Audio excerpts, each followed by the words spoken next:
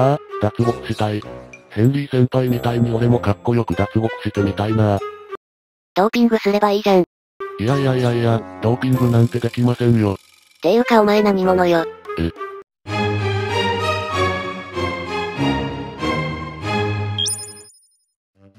皆さんどうもこんにちは。毎度おなじみウプ主のみーです。どうもこんにちは。久しぶりのユートです。おなじみマリサだぜ。あれ、なんかこのゲームヘンリー・ステックマンに似ているね。棒人間が捕まっていればみんなヘンリーみたいになるんだよ。個性がねえのか。ああ、どうやったら脱獄できるかな。そしてこいつも脱獄しようとしている。ということで今回はこの棒人間くんの脱獄の手助けをしていきたいと思います。ヘンリー先輩の手助けをしたことがあるあなた方ならきっとできますよ。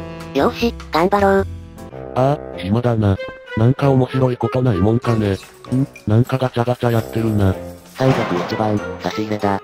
ありがたく食べるんだな。お、スイカですか。ヘンリーの時もそうだったが警官がとことんひでえな。いやいや、逆に割ってくれて感謝しないと。ええー、スイカの中にこれだけのものが。これってまさか外にいる仲間から、へっへってその通り、ヘンリー先輩を見習って仕込み作戦してみた。で、私たちはこの道具の中から一つを選べばいいんだろ？はい、頼みますよ。なんかどれもうまくいかなそうだけど。とりあえずこれで行ってみよう。絶対こんなん使ったらバレるだろ。承知。マジかよ。うわ、本当に出てきた。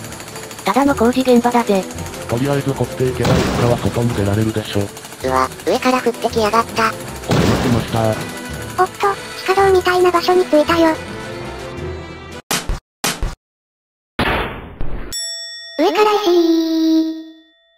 タップと表示されたら早く押して。さあ気を取り直してもう一回。タップが出たら素早くタップする。で警察え？石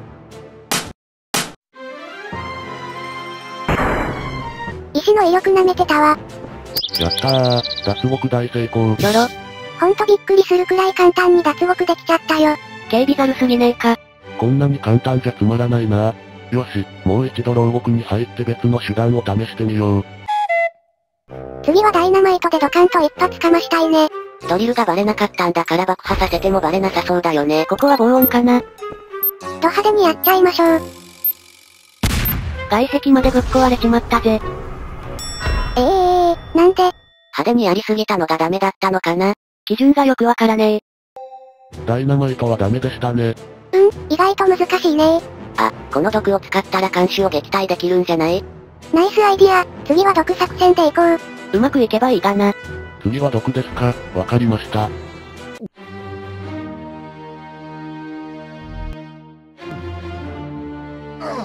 なぜ自分で飲んだー？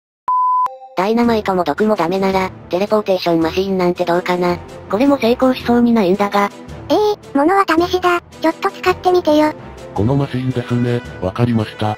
ヘンリーも確か使ってたな。どこにテレポートするのかが重要だよ。あ、ここは海の中。あれ、息苦しくない。頭食われたからな。テレポーテーションマシーンは危険なので今後あっても使わないようにしましょう。次はシンプルに合鍵を使って脱獄するよ。廊下にうじゃうじゃいないだろうな。あ、バカが寝てる。こいつにだけは言われたくねえ。プロのスパイか何かかな。やばい、拳銃を持っている。急いで逃げないとこれじゃ防げないよ。ここはないだろうって思われる椅子を選択だ。おお、あんなところに抜け道があったぜ。ここは仲間にスマホで連絡だ。あ、俺だけど刑務所の屋上によろしく。はや、もう迎えに来てくれたよ。なんか脱獄らしい脱獄だったね。ああ、最初がこれだとよかったな。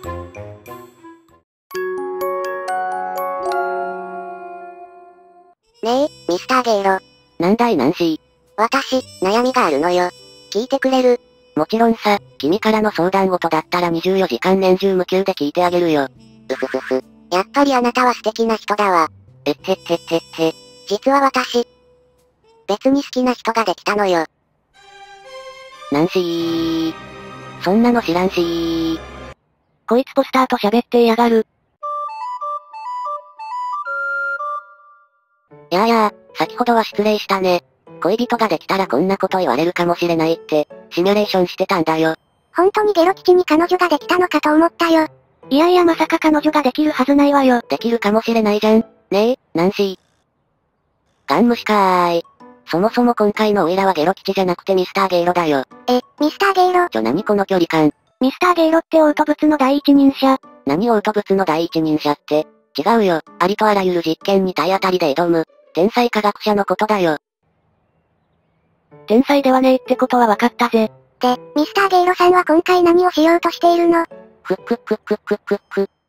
ちょっとミスターオート。ゲイロだよ。なんでそんな顕微鏡なんて持ってるのよ？ふっくっくっく。これには深いわけがあるんだよ。こんな顕微鏡なんてどの場面で使うんだ？このミスターゲロまみれはきっとろくでもないことに使う気だよ。ろくでもないのはその名前だよ。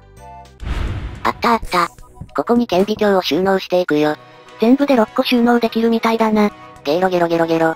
6個集めたらどうなるかなわはなは成分。お前の望みなんて知らん。さらば。こんなの出てきたら最悪だぜ。その後ミスターゲイロはいろいろな場所で顕微鏡をゲットしていった。あ、ここ以前に挑戦したことあるわよね。ああ、そういやひたすらジャンプしてたっけな。今ではこの通り、ミスターゲイロは軽々とジャンプして顕微鏡を見事にゲット。いやー、全くオイラも慣れたもんだよ。まだ経験が浅かったあの頃はとても純粋で素晴らしいカエルだったわ。昔からこんな感じだろ。さあさあ皆の衆。顕微鏡がラスト1個だぞ。いよいよ次でコンプリートだね。一体何が起こるのかドキドキよ。最後の1個見つけてきたぞ。よっしゃ、これでコンプだぜ。ああ、レーザーが消えた。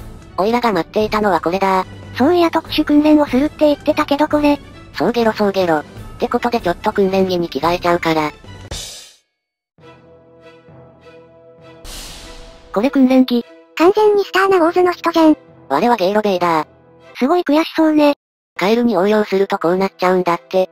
なんかその服だと強そうだぜ。さあ皆の衆、今から命がけの訓練に挑戦するぞ。